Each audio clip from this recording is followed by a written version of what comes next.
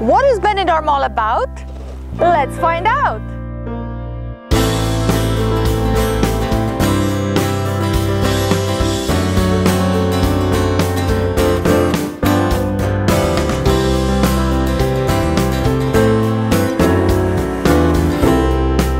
I love Benidorm. It has everything. If you want, you've got the quiet family time, you've got the nice evening meals, you've got the party lifestyle, you have the beach thing. Benidorm caters for everybody. You know, up your life.